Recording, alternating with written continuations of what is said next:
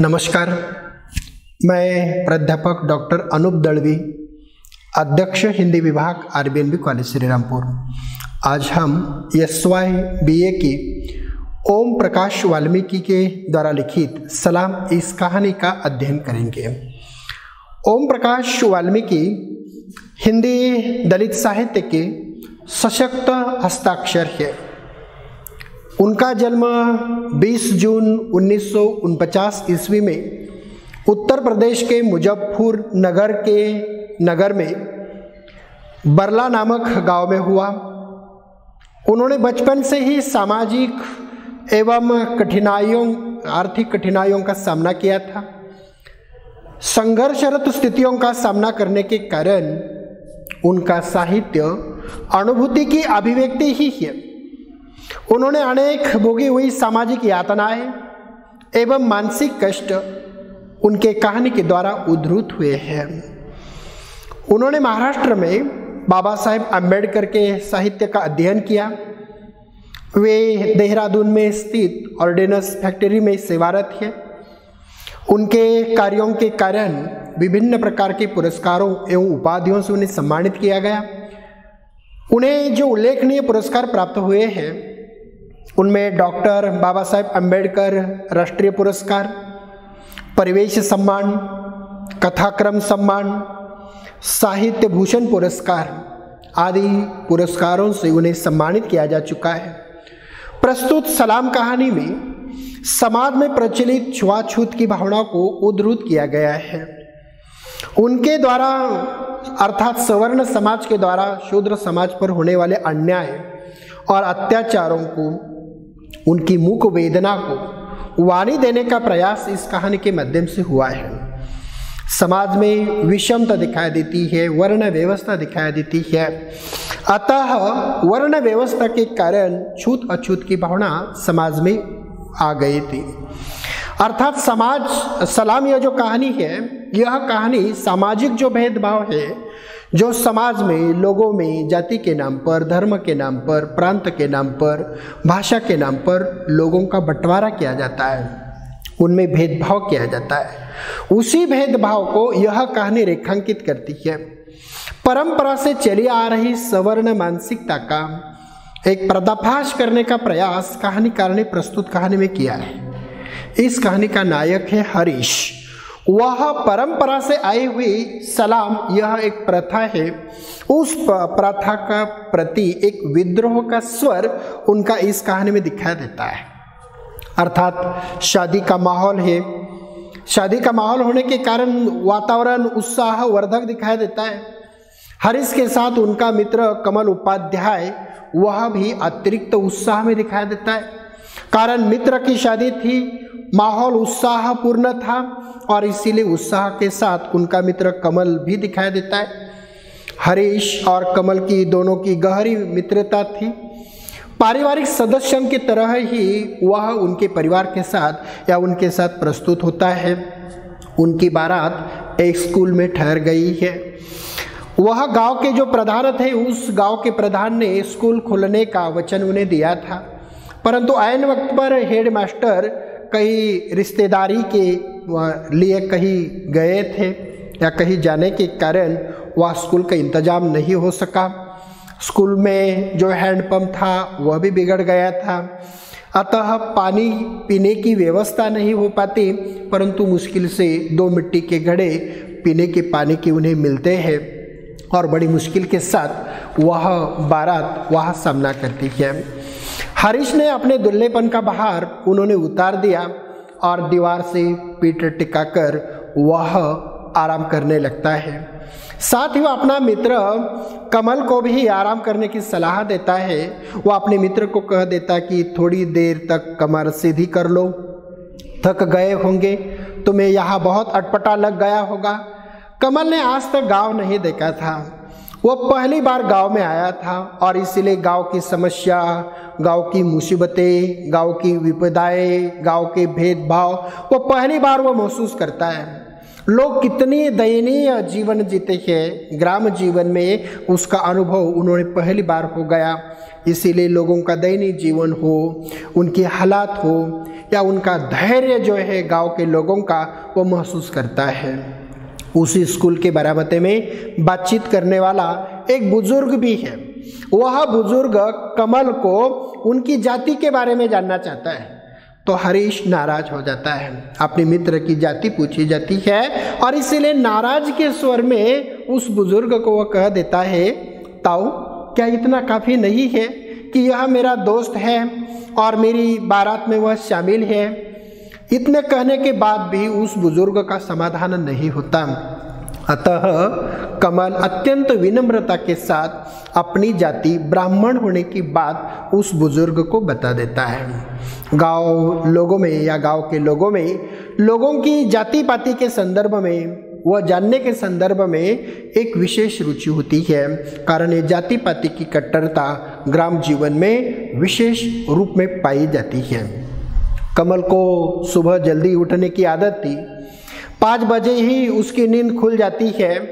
उसकी माँ सुबह सुबह पूजा पाठ करते करते पूजा पाठ के साथ जुड़ जाती है और सुबह सुबह उसे गर्म चाय पीने के लिए देती है। उनके हाथ में थमा देती है। अतः सुबह उठने के बाद चाय नहीं मिली तो उसका सिर भारी हो जाता है। ऐसी अवस्था में कमल चाय के बारे में पूछताछ करता है। वह बुज़ुर्ग उन्हें बता देता है, चाय के बारे में उन्हें कह देता है, बाबूजी, गाँव में एक दुकान है, आप सुबह देख लेना, शायद वहाँ चाय मिल जाएगी। और परिणामतः कमल सुबह उठ गया और चाय की तलाश करते करते एक चाय की दुकान पर वह पहुँच जाता है। दुकान, वह चाय की दुकान चबूतरे पर थी। वहाँ एक बूढ़ा आदमी बैठा था। उनके कपड़े चिगट कपड़ों में बैठा है। वह बीड़ी पी रहा था। बीड़ी की कड़वी धुआ रही है। आदमी अत्यंत तो दुर्बल था। कमल ने उस बूढ़े आदमी को चाय के बारे में पूछा कि यह चाय मिलेगी? तो ऐसे अवस्था में वह बूढ़ा आदमी कह देता है कि, जी हाँ यहाँ चाय मिलेगी। और वह चाय के इंतज़ार में वहाँ बैठ गया। और उसी समय कमल को अपनी माँ की याद आती है कि जो माँ सुबह सुबह चाय, गर्म गर्म चाय उनके हाथ में थमा देती है, माँ चाय नाश्ते बनाते समय कोई ना कोई जो श्लोक है, वह दोहराती रहती है। कमल उस बूढ़े आदमी से पूछता है, कितनी देर लगेगी चाय बनाने में? प्रतिक्रिया स्वरूप वह बूढ़ा आदमी कह देता है, बस अभी हो जाएगी।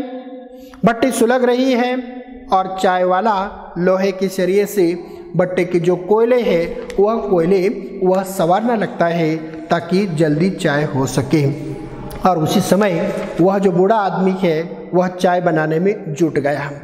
परंतु चाय बनाते बनाते वह कमल के साथ बातचीत करने लगा। वह कमल को कहने लगा, नए दिख रहे हो बाबूजी। कहाँ से आए हो? प्रतिक्रिया स्वरूप कमल उन्हें कह देता है, मैं देहरादून से आया हूँ। तो चाय वाला उन्हें कह देता कि देहरादून से कल यहाँ एक बारात आ गई है। देहरादून का नाम सुनकर वो चौक गया। बारात के बारे में पूछा तो कमल भी सहज रूप में कह देता है हाँ मैं भी उसी बारात में आया हूँ। परंतु उसी बारात में आने की बात जब उन्होंने सुनी तो उसी समय वह बूढ़ा आदमी चौक जाता है और उन्हें समझ में आता है कि जो बारात गाँव में आई है देहरादून से, वह चूड़े चमार के घर में आई है। एक अछूत के घर में आई है। हो सकता है यह कमल यह भी अछूत होगा और इसीलिए वह चाय बनाने के लिए इनकार कर देता है। बूढ़ा आदमी जिज्ञासा उन्हें कह देता है, वह बारह तो चूड़े के घर में आई है। तो कमल कह देता है तो फिर क्या हुआ? उनके घर में आई तो क्या हो सकता है? कमल अत्यंत तो विनम्रता के साथ कह देता है, भाई साहब, क्या हो गया? आप चाय नहीं बना रहे हैं। क्या मैं पैसे नहीं दूँगा? ऐसी बात कहते ही वह बूढ़ा आदमी तन कर खड़ा होता है और क्रोध के साथ कह देता है, पैसे शहर में जाकर दिखाना। दो पैसे जेब में हो गए तो सारी दुनिया को सिर पर लेकर उठायो। ये शहर नहीं है, गाँव है। यहाँ चुड़े चमारों को मेरी दुकान पर चाय नहीं मिलेगी। कहीं और जाकर पियो। मतलब भेदभाव परक दृष्टि उस बूढ़े आदमी में दिखाई देती है और उनके व्यवहार से कमल बहुत परेशान हो जाता है। जो पहले चाय बनाने के लिए तैयार हुआ था, केवल चूड़े के घर में बारात आई है, वह दलित होगा, अछूत होगा, यह समझकर वह बूढ़ा आदमी उसे चाय देने के लिए इनकार करता है। कमल को चाय वाला असभ्य वनमानुष दिखाई देता है।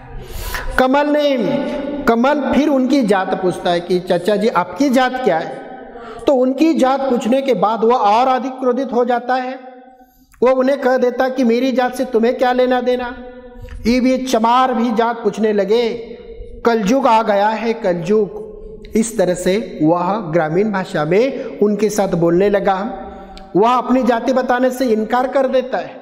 और इसीलिए कमल अपनी जाति का परिचय देते हुए उन्हें कह देता है, मेरी मेरा नाम है कमल उपाध्याय।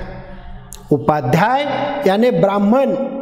परंतु ब्राह्मण के रूप में परिचय देने के बाद भी वह बूढ़ा आदमी उस पर विश्वास नहीं रखता। उन्हें लगता है कि यह अगर चुड़े चमारों की बारात में आया है अछूतों की बारात में आया है तो यह भी शायद अछूत ही होगा और इसीलिए वह इनकार कर देता है, वह उसे चाय नहीं देता। उल्टे संदेह के नज़रों से उनकी ओर देखता है, वह उनकी बात पर विश्वास करने के लिए तैयार नहीं होता। उन दोनों की जब बातचीत चल रही थी तो उसी समय गाँव का रामपाल नामक पहलवान वहाँ आता है। गाँव में उनका दबदबा था, रोब था वह चाय वाला सभी वृत्तांत रामपाल को बता देता है।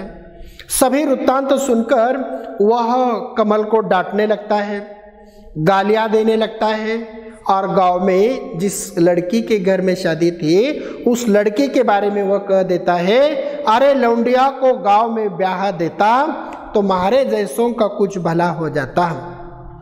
साथ ऐसा कहने के बाद उनके साथ जो अन्य लोग थे, वह भी खिलखिलाकर हंसने लगते हैं, उपहास की हँसी, हंसने लगते हैं। अन्य लोग भी उसे साथ देते हैं।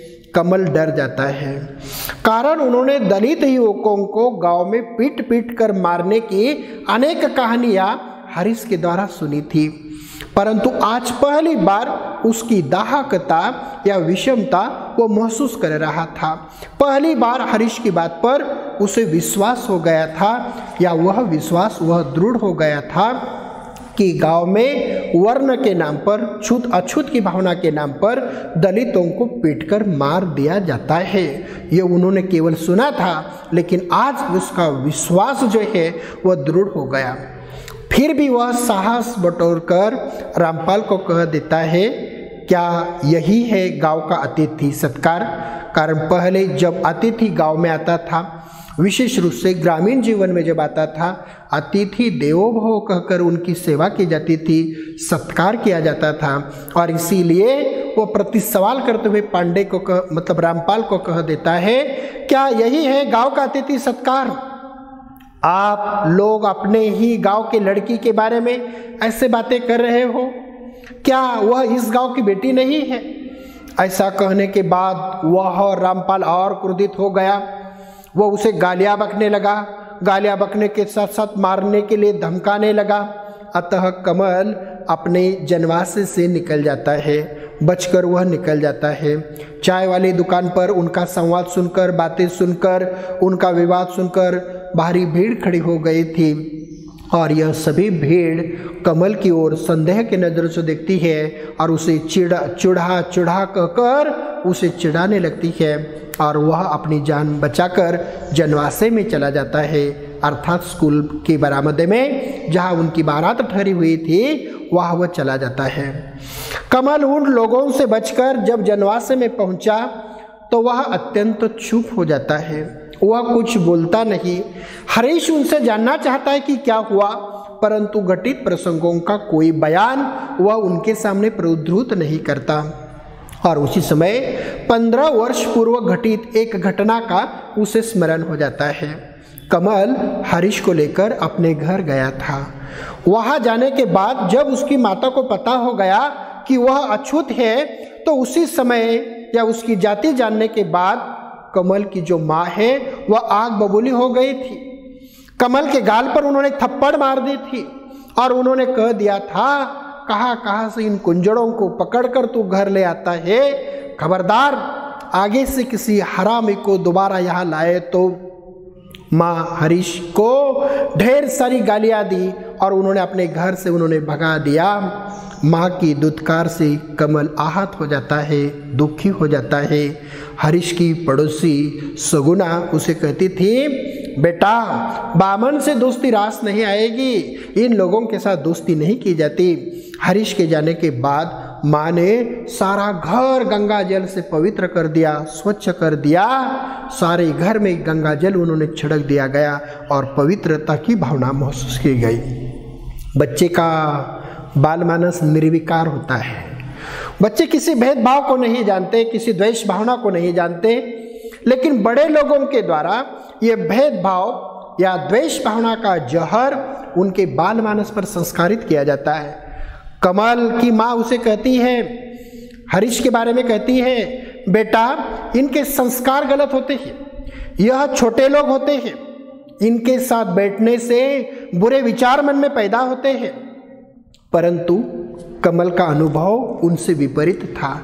कमल ने इसी तरह का अनुभव हरीश के द्वारा प्राप्त नहीं किया था। प्रतिक्रिया स्वरूप वो अपनी माँ से प्रति प्रश्न करता है। माँ को पूछता है, माँ, तुम कभी उनके घर गई हो? उनसे जाकर कभी मिली हो? फिर कैसे जानते हो कि उनके संस्कार गलत है? यह बुरे लोग हैं। तुम कैसे जानती हो?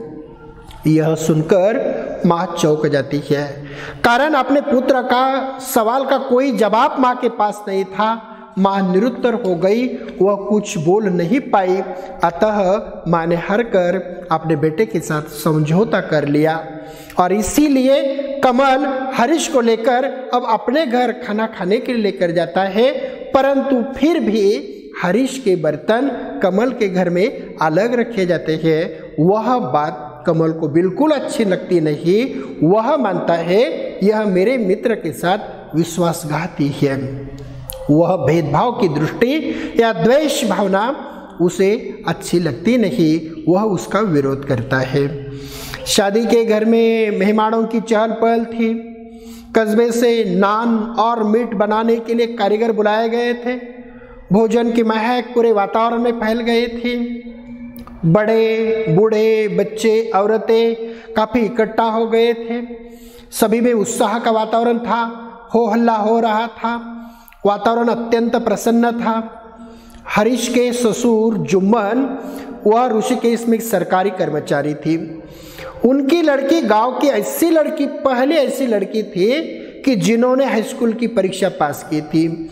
उसके पहले एक भी लड़की नहीं पढ़ी थी। गाँव, देहात के नियम, कायदे, कानून या अलग होते हैं और उसी के हिसाब से हरीश को सलाम के लिए जाना था। कहानी का नाम है सलाम। अर्थात गाँव के जो अछूत लोग हैं, वह बड़े लोगों के घर में, अर्थात सवर्ण के घर में सलाम करने के लिए जाते हैं और सलाम करने के लिए गाँव के रंगड़ जो परिवार है, उस परिवार के दरवाजे पर उन्हें जाना था। यह गाँव का रिवाज था। कि जो रिवाज, जो रूढ़िया परंपरा से चली आ रही थी, परंतु हरीश के पिताजी ने रंगड़ के घर में या रंगड़ के दरवाजे पर सलाम के लिए जाने के लिए स्पष्ट रूप में इनकार कर दिया। इनकार करते हुए उन्होंने कह दिया कि हमारे लड़के को हम रंगड़ों के परिवार में सलाम के लिए नहीं भेजेंगे। रंगड़ परिवार से कई बार सलाम के लिए बुलावा गया था। लोग समझाने की कोशिश कर रहे थे, जल में रहकर मगरमच्छ से बैर नहीं किया जाता। जब मगरमच्छ के साथ बैर नहीं किया जाता, जल में रहकर, अर्थात उसी गाँव में रहना है, उन लोगों के साथ रहना है, और उन लोगों के साथ रहकर उनसे विरोध नहीं किया जा सकता, कारण यह लोग जीने नहीं देंगे, उसी तरह की भावना जनसामान्यों की थी। इसीलिए जब यह लोग सलाम के लिए जाते थे, उन्हें बर्तन दिए जाते हैं, कपड़े दिए जाते हैं। गाँव में कोई दामाद हो, नई कोई दुल्हन हो, सलाम के लिए जाने का रिवाज अत्यंत पुराना था, जो उस गाँव में प्रचलित था। हरेश सलाम जैसी जो प्रथा है, परंपरा है, उसके प्रति विद्रोह करना चाहता है। वह कहता है मुझे नहीं चाहिए ऐसे कपड़े और नहीं चाहिए ऐसे बर्तन। मैं रांगड़ों के दरवाजे पर सलाम करने के लिए नहीं जाऊँगा। आप चाहे जो समझे, मैं इस रिवाज को आत्मविश्वास तोड़ने की साजिश बनता हूँ और इसीलिए मैं उनके घर पर नहीं जाऊँगा। सलाम की ये जो रस्म है, वह बंद होनी चाहिए। और यह खबर पूरे गाँव में फैल गई, दोपहर हो गई। वहाँ रंगड़ों के परिवार में भी यह बात चली गई कि जुम्मन का जमाई सलाम के लिए नहीं आना चाहता। और उसी समय बल्लू रागड़ का जो पहलवान है, कमल, वह चाय की दुकान पर कमल को धमकाते हुए चला गया था। उनका सारा वृत्तांत उन्हें गाँव में फैला दिया था। वह अपनी बात का बतंगड़ करते हुए यह सारी बात समाज में फैला देता है। कह देता है कि वो उसी समय वह सलाम के लिए न आते हुए देखकर यह बल्लू रागड़ उनके दरवाजे पर आता है। और वह जुम्मन को कह देता, जुम्मन, तुम्हारा जमाई अब तक सलाम के लिए क्यों नहीं आया? जुम्मन उनके पैर पकड़ लेता है और उसे कह देता है, चौधरी, जो सजा दोगे, वह वह मैं भुगत लूँगा, परंतु बेटी की विदाई हो जाने दो। जमाई पढ़ा लिखा है, गाँव देहात की रीत ना जाने है गाँव की रीत रिवाज पद्धति वह जानता नहीं है। रांगड़ कहता है कि तूने गाँव की नाक कटवा दी, जो लौंडिया को दसवीं पास कर दी। लड़कियों को, स्त्रियों को पढ़ने का अधिकार नहीं था, परंतु गाँव की लड़की ने पहली बार दसवीं की परीक्षा पास कर दी। इसलिए रांगड़ कहता है कि तूने गाँव की नाक कटवा दी, क्या ज़रूरत थी लड़की को पढ़ाने की? तू गाँव की हवा बिगड़ रहा है। अर्थात गाँव का जो वातावरण है, उस वातावरण को तुम दूषित कर रहे हो और साथ ही सलाम के लिए आने का फैसला भी वह उसे बता देता है। फैसला सुनाकर वह चला गया। कमल गाँव परिवार के सभी यह दृश्य देखता है, यह भेदभाव देखता है, जातिगत विषमता को वह महसूस करता है। हरीश अपने विचारों पर अड़े रहकर सलाम के लिए जाने के लिए इनकार करता है, अर्थात इस कहानी में सलाम जैसी जो कुप्रथा है, उस कुप्रथा के प्रति एक विद्रोह की भावना इस नायक में दिखाई देती है।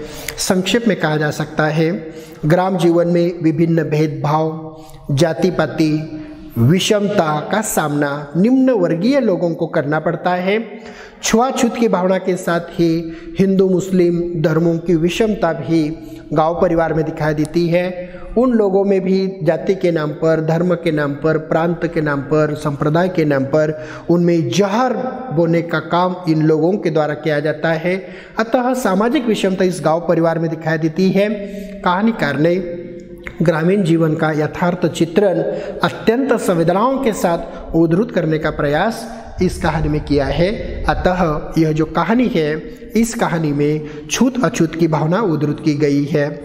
सवर्ण समाज के द्वारा शूद्र समाज पर होने वाले अत्याचारों का चित्रण किया गया है। सामाजिक भेदभावों का चित्रण किया गया है। ग्रामीण जीवन की जाति पाति की कट्टरता उद्धृत करने का प्रयास किया गया है। सलाम जैसी रूढ़ी परंपरा के प्रति विद्रोह की भावना चित्रित की गई है। दूसरा तत्व पात्र तथा चरित्र चित्रण के रूप में इस कहानी का नायक है हरीश, जो परंपरा से चली आ रही परंपराओं के प्रति विद्रोह करता है। उनका मित्र कमल है। हरीश के ससुर जुम्मन, कमल की माँ, चाय बनाने वाला वह बूढ़ा आदमी रामपाल बल्लू रागड़ या ग्राम के सभी लोग पात्र तथा चरित्र के रूप में आप लोगों को इस कहानी में दिखाई देते हैं। कथोपकथन के रूप में भेदभाव परक दृष्टि का एक प्रकार का जो पर्दाफाश है, वह इस कहानी में दिखाई देता है। जैसे, क्या है गाँव, जैसे वह कमल चाय वाले दुकानदार को उन्होंने पूछा था, क्या यही है गाँव का अतिथि सत्कार? आप लोग अपने ही गाँव के लड़की के बारे में ऐसे बातें कर रहे हैं, क्या वह इस गाँव की बेटी नहीं है? अर्थात गाँव के भेदभाव परक जो दृष्टि है, उसका पर्दाफाश करने का प्रयास उन्होंने इस कहानी के माध्यम से किया है। इस कहानी का चौथा तत्व देश काल वातावरण के संदर्भ में हम लोगों ने इस कहानी में देखा। ग्रामीण जीवन के भेदभावों का चित्रण इस कहानी में हुआ है। सामाजिक विषमता का चित्रण इस कहानी में दिखाई देता है, द्वेष भावना के संस्कार किस तरह से संस्कारित किए जाते हैं, उसका अध्ययन हम लोगों ने इस कहानी में किया। निम्न लोगों के साथ किए जाने वाले अन्याय और अत्याचारों का चित्रण इस कहानी में हुआ है। भाषा शैली के रूप में बोलचाल की भाषा है, पात्रानुकूल भाषा है प्रसंगानुकूल भाषा का चित्रण हुआ है। व्यंग्यात्मक शैली का प्रतिपादन इस कहानी में हुआ है तथा संवादात्मक शैली इस कहानी में दिखाई देती है और इस कहानी का अंतिम तत्व उद्देश्य। सामाजिक एवं धार्मिक भेदभाव का पर्दाफाश करने का प्रयास प्रस्तुत कहानी के माध्यम से हुआ है। कहानी में निम्न तथा मध्यम वर्गीय समाज के अन्याय और अत्याचारों का पर्दाफाश करने का प्रयास इस कहानी के माध्यम से हुआ है। छूत अछूत की भावनाएँ कहानी के माध्यम से उद्रुत है, तथा सभी प्रकार के भेदभावों को मिटाकर, एकता तथा मानवतावाद की स्थापना करने का प्रधान उद्देश्य इस कहानीकार का दिखा देता है। दलित तथा अछूत लोगों के दुख दर्द का पर्दाफाश करने का प्रयास इस कहानी में हुआ है तथा उनकी मुख वेदना को वाणी देने का प्रयास कहानी के माध्यम से हुआ है। कहानी में सभी प्रकार के भेदभाव को मिटाने का उद्देश्य इस कहानी में दिखा देता है तथा मानवतावाद की स्थापना करने का उद्देश्य भी इस कहानी में दिखा देता है। नमस्कार धन्यवाद।